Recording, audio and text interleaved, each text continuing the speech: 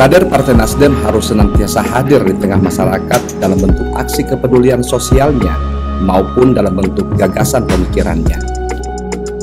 Hal itu dikemukakan Rahmat Gobel saat menghadiri rapat koordinasi wilayah Dewan Pimpinan Partai Nasdem Provinsi Nusa Tenggara Timur di Hotel Meruorah, Labuan Bajo, Jumat 10 Desember 2021 kemarin.